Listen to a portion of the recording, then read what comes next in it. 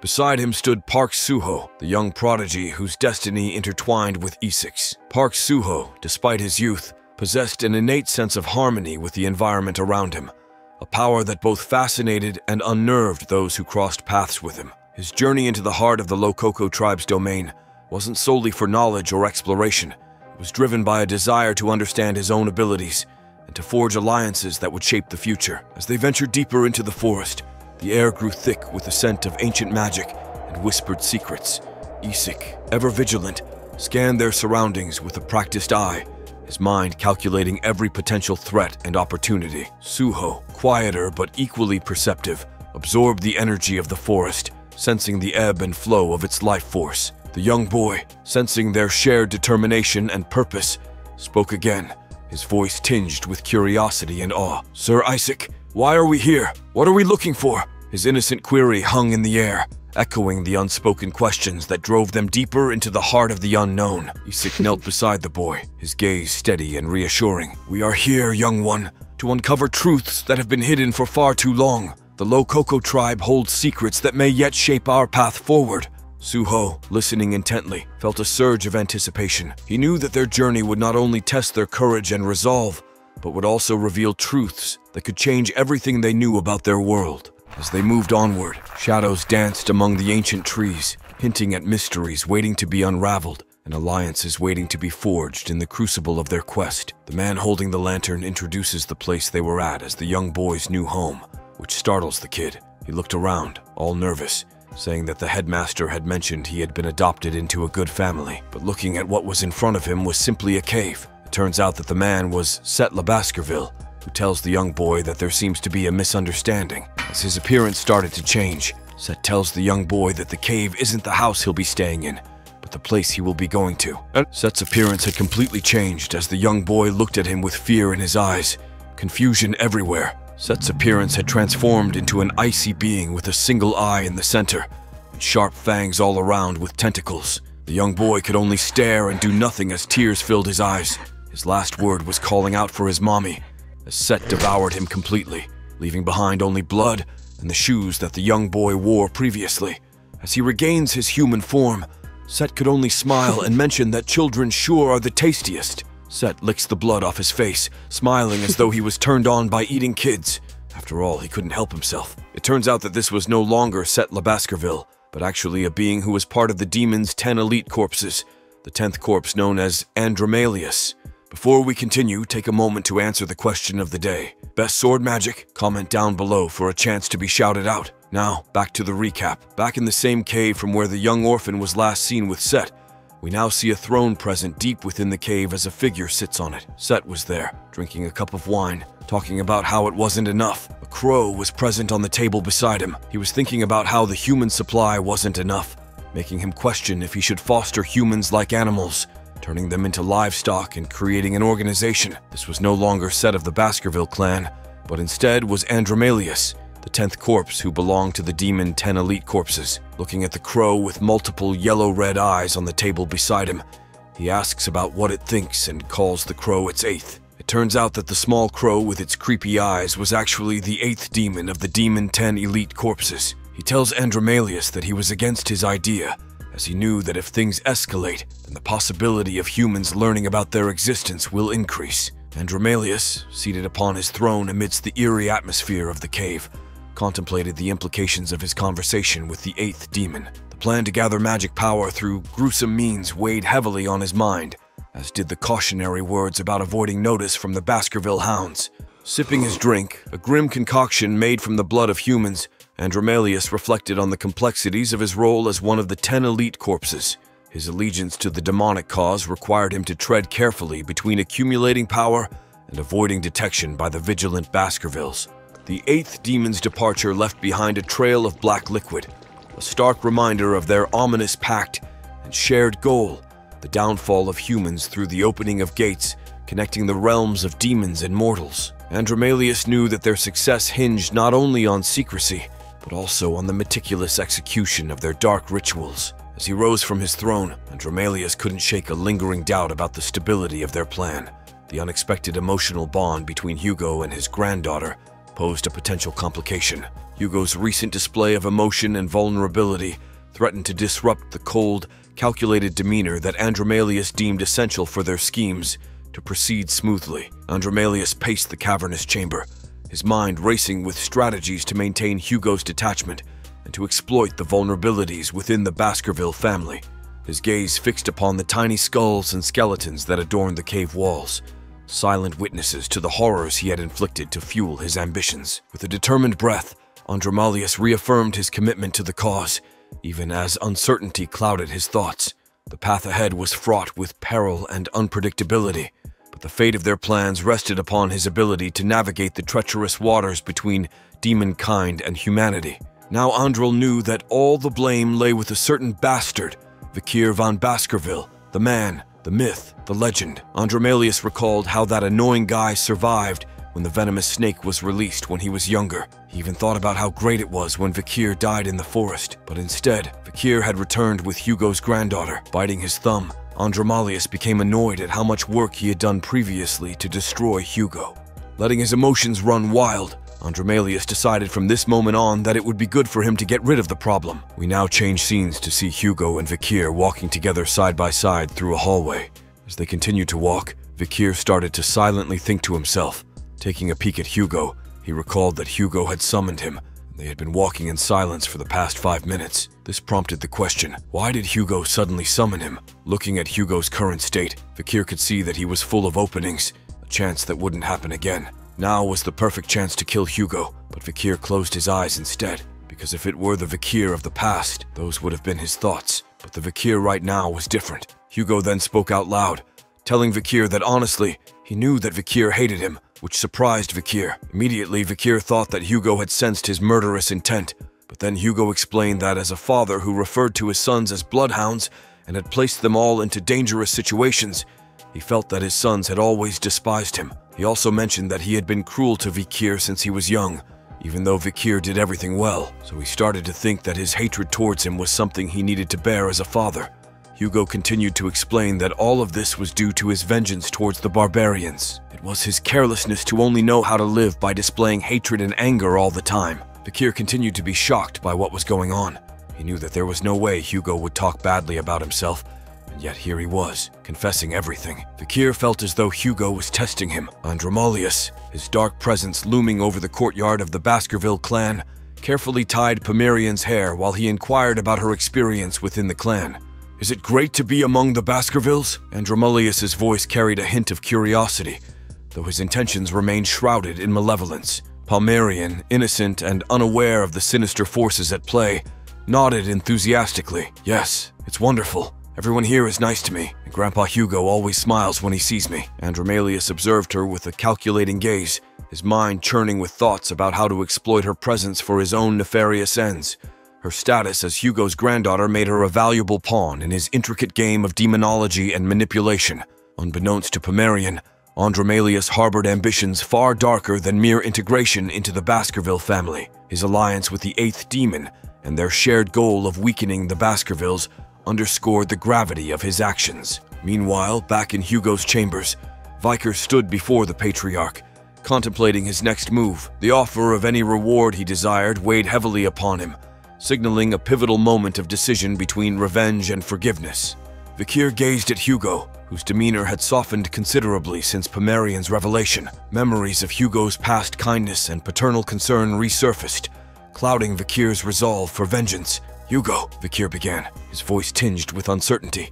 I appreciate your offer, but before I decide on my reward, there's something I must do. Hugo nodded solemnly, his eyes fixed upon Vikir with a mixture of anticipation and apprehension. I need to uncover the truth, Vikir continued, his tone firm. The truth about who framed me, who ordered my execution. I need answers before I can make a choice. Hugo's expression hardened slightly, understanding the gravity of Vikir's quest for justice. I understand, he murmured, his voice tinged with regret. I will help you in any way I can. With a nod of gratitude, Vikir turned to leave, his mind racing with thoughts of the path ahead. His journey toward reconciliation and understanding had only just begun, entwined with the dark mysteries of his past and the uncertain future of the Baskerville clan. Pomerian happily told him that Uncle Vikir was here along with Grandpa Hugo and Uncle Ostris, but then Andromalius asked her why she didn't mention his name, and wanted to know if she knew his name, which made her think for a while. After a brief moment, Pomerian called him uncle. Set, a servant, appeared behind them, reminding Set that he hadn't started his isolated training.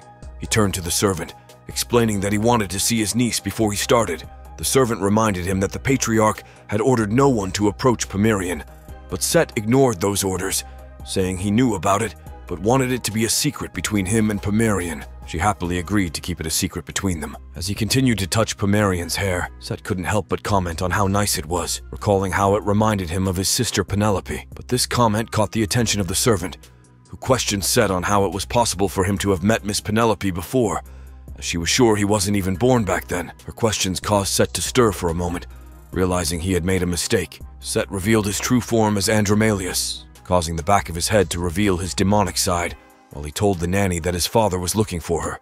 The nanny could only stand in fear as her eyes began to tear up from facing the powerful demon. She let out a shriek and started to turn around as she heard it, but then noticed that the granny was gone. Andromalius was busy eating the nanny as Set explained to Pomerian that she had something urgent to do. He then asked Pomerian if she liked Grandpa Hugo, to which she happily said yes. Set also knew that Hugo liked Pomerian very much. With a sinister look on his face, Set recalled how Pomerian truly resembled Hugo's dead wife and daughter. His hands stretched out this time, forming a mouth with multiple sharp teeth in between. He reached out to their sweet little angel, wondering how much it would destroy Hugo if he were to kill Pomerian right here and now. But before he could take a bite out of Pomerian, a voice called out to Set. It was Ostris appearing at the right time. He questioned Set about the whereabouts of the nanny and why he was here. Pomerian looked up at Ostris with wide, innocent eyes, soaking in the solemn atmosphere that hung between them.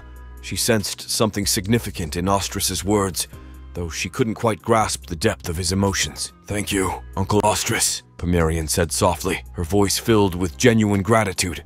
Ostris smiled faintly, his hand still resting on her head. He pondered over the changes that Pomerian's return had brought to the Baskerville clan. For so long, Ostris had lived in the shadow of his father, Hugo, striving to emulate his cold and ruthless demeanor as the vice patriarch. But seeing Set's conflicted emotions and now expressing his own concerns openly stirred something within Ostris. It was a revelation that perhaps there was more to leadership than the relentless pursuit of power and authority. As Pomerian stood before him, Ostris felt a strange mix of responsibility and tenderness. You've brought something special back to us, Pomerian, Ostris murmured, his voice barely above a whisper. Things are changing, and perhaps that's not entirely a bad thing. Pomerian tilted her head curiously, sensing the weight of Ostris's words even if she couldn't fully understand their implications. Meanwhile, Set, now alone in the corridors of the Baskerville estate, wrestled with his inner turmoil. The memory mix-up with Andromalius had unsettled him deeply, reminding him of the relentless pressure he faced as Hugo's son and Ostris's younger brother.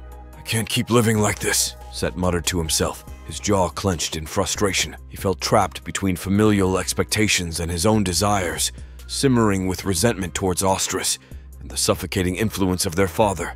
Yet beneath the facade of defiance, Set harbored a deep-seated yearning for acceptance and understanding.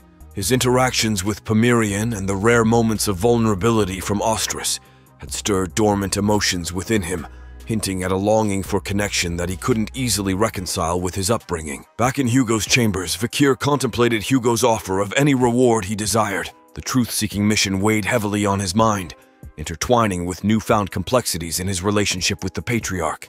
The decision between revenge and forgiveness loomed large, echoing the delicate balance of power and emotion that governed the Baskerville clan. As Vikir prepared to embark on his quest for answers, he knew that whatever path he chose would irrevocably shape the future of those around him. Back at the cave hideout, Set stomped his foot on the ground rapidly. He bit his thumb once again, commenting out loud about how something was so annoying. After that day meeting with Pomerian and Ostris, Hugo hadn't left her side at all because he was smitten by his granddaughter. Set couldn't kill Pomerian. His demonic side started to appear in his eyes, frustrated over the fact that he had missed his chance because of Ostris's sudden appearance. With a quick snap of his neck, Andromalius regained his composure. He knew there was still plenty of time before the gate opened, so there was no need to rush. It might be more effective for him to kill Pomerian when she became even more valuable to Hugo. When that time came, Andromalius wondered how he was going to kill her. Should he poison her like he did with Hugo's wife Roxana and make it look like she died from an illness? Or should he use the barbarians like before with Penelope? His demonic side emerged as he smiled sinisterly, knowing that he was going to kill Pomerian in a more brutal way than those two. But as he was immersed in his thoughts, a familiar figure stood in front of the cave entrance. With his trusty sword summoned, Vikir had arrived. His bloodhound eyes filled with bloodlust, he took a massive swing with Beelzebub, destroying the barrier protecting the cave's entrance. This caught Set's attention as he felt it shatter. Set immediately stood up from his throne.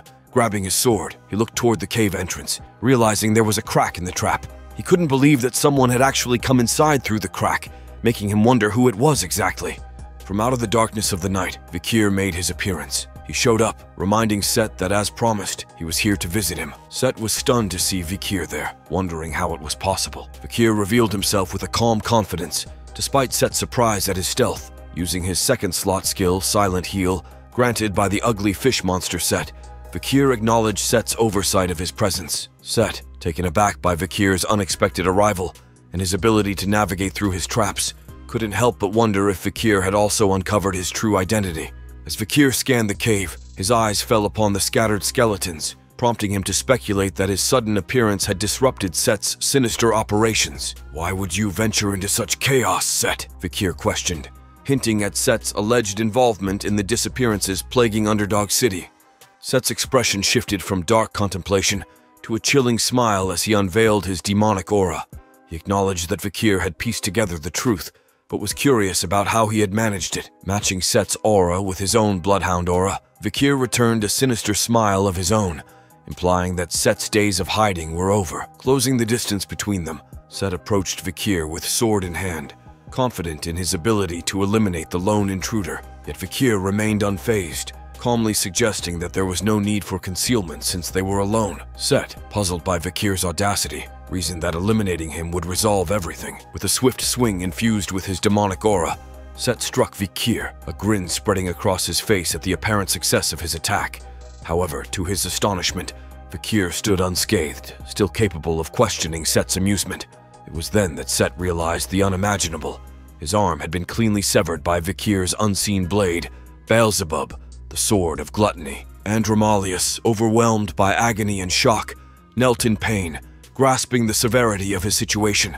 Vikir, demonstrating his prowess with Beelzebub, had delivered a blow that not only cleaved through flesh and bone, but also seemed to cut through Andromalius's very essence. As the truth dawned on Andromalius, he recognized the weapon that had inflicted such profound pain. He shouted at Vikir, asking him how he could have obtained the relic of the Grand King of Flies the holy constellation of the ancient devil. Vikir expected such knowledge from demons, as they truly knew a lot about themselves. But as he called out to Set, he revealed the true face of the man before him. Vikir knew that Andromalius was one of the ten demons who came to the human world to open the gate to the demon world, a member of the elite corpses. Hearing this, Andromalius could only shout in shock over how Vikir knew such information. But as he continued to stare at Vikir with his demonic eyes, he realized something else, the soul of Vikir. Andromalius could only wonder why this young soul smelled like the blood of their people, making him think that Vikir had been to hell before. With his bloodhound eyes all lit up, Vikir could see that the being in front of him was the one who framed him in his previous life. As if leading him into thinking he was his savior wasn't enough, Set was also the one who executed Vikir in the end. Wake up, demon, said Vikir in a heavy tone, causing Andromalius to sweat profusely, as if Vikir had become a demon as well. Vikir told the demon with a big smile on his face, never to think that he was going to die comfortably before regression and destruction fell upon the world. The citizens of a town were its first victims as they looked at the skies one peaceful day, unaware that death was upon them. The gate that connected the demon realm and human realm appeared in the skies above the innocent people. When the demons began to invade, humanity called it the Fall. The ones who opened the gate were the ten high ranked demons who first came to Earth known as the Ten Elite Corpses. During the long war against the demons, Vikir had the misfortune of meeting one of the Ten Elite Corpses on the battlefield. His first reaction upon facing the demonic creature was fear and shock. The outcome of his battle against it was simply miserable. Surrounded by his fallen comrades, Vikir could only cling onto his sword as he watched one of the ten elite corpses flex on top of the cliff.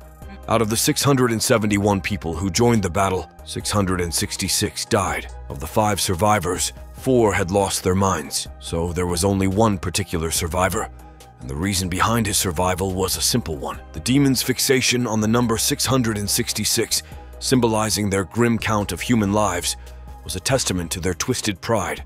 Andromalius, one of the ten elite corpses known for his overwhelming destructive power, stood before Vikir in the present, a stark contrast to the encounter a decade ago. Amidst the chilling scene of countless small skeletons drenched in blood, Vikir couldn't help but speculate on Andromalius's gruesome appetite for devouring young children. As Vikir's bloodhound aura surged with rage, focusing on the horrific sight before him, Andromalius's cruel laughter pierced the air. He mockingly revealed that the children weren't dead, but alive within his stomach, taunting Vikir with a grotesque display. Using his hand to shape the face of a deceased child, Andromalius manipulated its voice to plead for salvation, invoking Vikir's wrath even further. In response, Vikir, his eyes glowing with intensified fury, swung Beelzebub once more, severing Andromalius's remaining arm. The demon screamed in agony, collapsing before Vikir, who sternly silenced his attempts to deceive. Vikir knew well the impossibility of resurrecting the dead, despite Andromalius's unsettling displays. Andromalius, now desperate and in pain, revealed his regenerated arms calmly, acknowledging Vikir's exceptional status as a young mid-rank graduate at just 17. He recognized Vikir as an irregular anomaly, possessing the devil's holy constellation, Beelzebub, hinting at unpredictable futures. Transforming his arm into a demonic blade, Andromalius declared his intent to eliminate Vikir then and there, driven by the necessity to eliminate potential threats.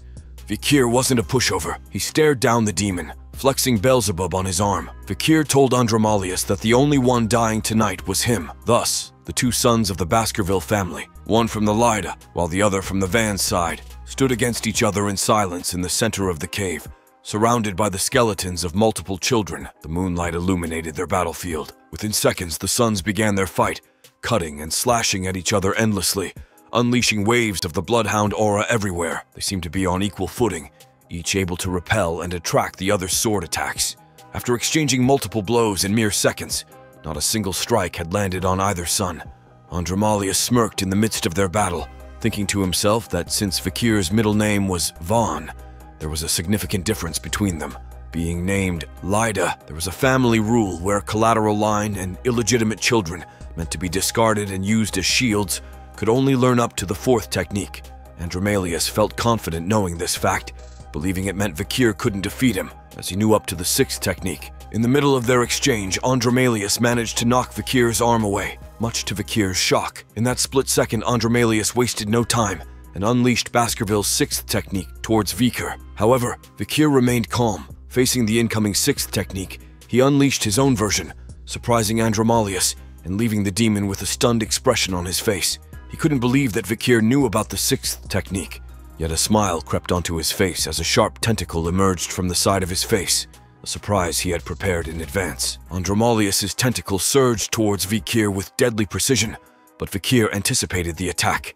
His eyes locked onto the approaching danger, and in a swift response, he unleashed Beelzebub's power, enveloping the sword in his bloodhound aura. With a calculated strike, Vikir caught Andromalius off guard, executing the Baskerville's seventh technique. The demon was thrown back, wounds appearing across his body as blood spilled from his mouth in a cough. Recognizing the technique as the seventh Fang, Andromalius was perplexed. This knowledge was traditionally reserved for the patriarch of the Baskerville family. However, Vikir wasted no time, his eyes gleaming with a deadly resolve. Launching another assault, Vikir's next attack struck true, Beelzebub plunging deep into Andromalius's chest.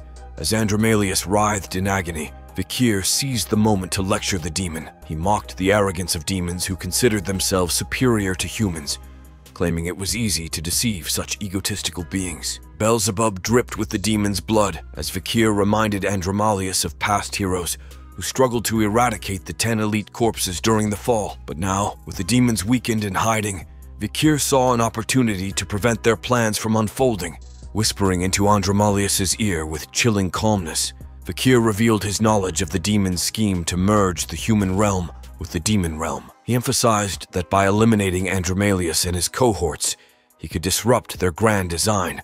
Do you feel relieved? Vikir questioned with a murderous glint in his eyes, his aura suffusing the cave with a palpable threat. For the first time in his demonic existence, Andromalius experienced a profound sense of dread.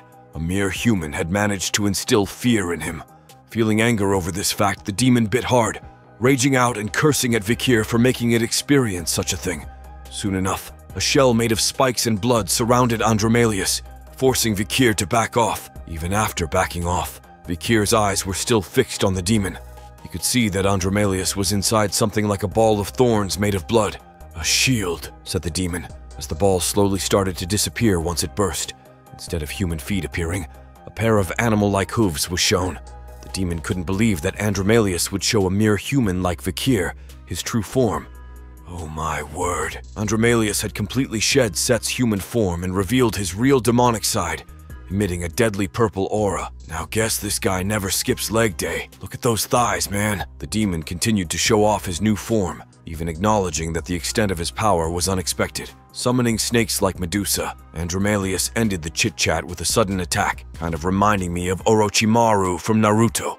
The snakes all locked onto their target, Vikir, who simply stood still as they closed in on him, using a zigzag-like pattern. Vikir relentlessly cut down the snakes that came close to him, but Andromalius was enjoying this moment, telling Vikir to keep trying and slicing them. Vikir did as he said, leaping and doing backflips to dodge the snakes while cutting and slicing them apart, making his way toward Andromalius. But as he charged forward, Vikir was unaware of a single snake that managed to slip past his defenses. The snake landed a deep bite onto his shoulder before Vikir sliced off its head. Seeing this brought a smile to the demon's face as he announced that with a single bite, as long as there were living organisms around him who were injured, he would never die. Before we continue, let's take a moment to shout out at Harshday 10 Tier C42 who commented, I like your content that I can't wait for its another part on our Questism video. Thanks for commenting. Vikir calmly looked at his blood leaving his body, but then he started to smile before breaking into laughter, angering Andromalius, who shouted at Vikir about why he was laughing, wondering if he had lost his mind. Using his hand to hide his laughter, Vikir revealed that he found it funny to see a demon enjoying himself when he didn't even know what he was absorbing. It turned out to be true. Andromalius doubled over in agony, coughing blood as he knelt on the ground, bewildered by the sudden affliction. Vikir, observing his reaction, casually asked the demon if he wanted to witness something remarkable. With Beelzebub, Vikir made a small cut on his wrist, letting his blood drip heavily onto the ground before Andromalius. The demon soon realized Vikir's blood was infused with potent poison, causing the earth to dissolve upon contact. But Vikir's demonstration didn't end there. He displayed his wrist, now fully regenerated after the self-inflicted wound, leaving Andromalius stunned. The demon struggled to comprehend how a mere human possessed such rapid regeneration and deadly poison, knowledge typically associated with formidable creatures like Madame Eight Legs of Larue at Len Noir Mountain, the nine-headed snake of the Titan's land, and the colossal jellyfish of the Black Sea. As Andromalius screamed in pain before Vikir, the human continued to taunt him, probing if the demon desired more of his toxic blood, even tasting it himself to affirm its potency. Within Beelzebub, the spirit of Madame Eight Legs growled, seemingly displeased that Andromalius hadn't succumbed to her poison. This exchange solidified Vikir's belief that with the Baskerville 7th technique and Beelzebub's powers, he could indeed confront and defeat the ten elite corpses. Realizing his imminent demise after Vikir's devastating attacks, Andromalius grappled with disbelief. How had Vikir, once a mere monster, ascended to such formidable strength? Resolving to survive and warn the other corpses about Vikir's prowess, Andromalius began to gather the mana he had dispersed, dissolving the barrier that protected the cave from intruders. Vikir sensed the change and turned back to look at the entrance, believing that Andromalius had released the barrier. But as he looked back, the demon started to smile again. Let water turn into blood, it said. Soon enough, massive amounts of water started to pull together, forming a ball in the air behind Vikir. As the water formed a ball, it started to turn red like blood. Vikir looked at what was happening, realizing that Andromalius also had the ability to turn water into blood. Even though he didn't have all his power, Vikir figured that a high-ranking demon is still a high-ranking demon. Making a quick decision, Vikir cut his wrist once again and poured his blood into the pool of water, reminding Andromalius that it didn't matter what he did with the blood now, as he wouldn't be able to absorb it like before. But the demon had a different plan in mind. It revealed to Vikir that infusing his blood into the water so that he couldn't absorb it was useless, because he didn't turn the water into blood to absorb it. Instead of being absorbed, the blood water started to float in the air, forming balls all around Vikir. Arise, my blood knights, Andromalius said, leveling a reference. After saying those words, the blobs of blood water started to melt and drip onto the cave grounds. Emerging from it was a monster made of blood. Soon, Vikir was surrounded by Blood Knights in every direction. With the appearance of the Blood Knights, Andromalius revealed to Vikir that they could use the Baskerville sixth technique, which he himself had learned. The demon was confident that even though Vikir could use the seventh technique, he couldn't go up against all the Blood Knights who could use the sixth technique. I guess this demon has never heard of plot armor, Vikir thought. With murder in his eyes, Andromalius went full demon mode, promising Vikir that he was going to kill him and then kill everyone he loves one by one. Leaving Vikir with these final words, Andromalius silently remained surrounded by all the Blood Knights, regretting going against the Ten Corpses. Realizing the danger posed by the Blood Knights and their ability to use the Sixth Technique, Vikir hastily searched through his pocket, unprepared for such a dire situation. In a flashback, he recalled walking with Hugo, discussing the reward that allowed him to choose anything he desired. From his pocket, Vikir retrieved a whistle studying it intently before presenting it to Andromalius, who visibly recoiled at the sight. With a knowing smirk, Vikir questioned the demon about his familiarity with the whistle, a symbol deeply connected to the Baskerville clan. Andromalius, sweating nervously, understood Vikir's intent to blow the whistle. Without hesitation, Vikir took a deep breath and blew into the whistle with all his might, unleashing shock waves that reverberated through the cave and beyond. Nearby, a powerful figure stood on a cliff, as if awaiting Vikir's signal. Gripping his sword tightly, the figure sprang into action the moment the whistle's sound echoed. Andromalius, thrown into full panic, commanded the Blood Knights to eliminate Vikir swiftly. But Vikir revealed the true power of the whistle.